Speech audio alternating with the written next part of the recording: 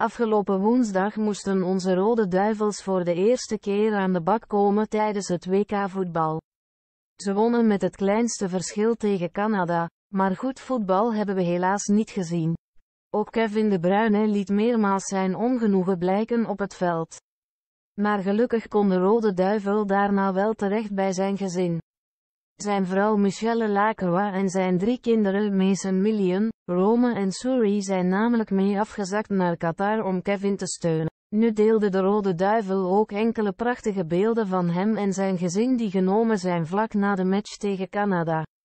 Niets is belangrijker, schreef hij er toepasselijk bij. En die foto's lokken heel wat reacties uit. Zo werd zijn post in een mum van tijd al door meer dan 1,2 miljoen mensen geliket.